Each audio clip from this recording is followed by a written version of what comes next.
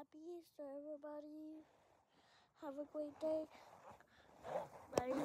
For having an Easter, you can collect eggs by somewhere in your house. Please don't peek so you don't need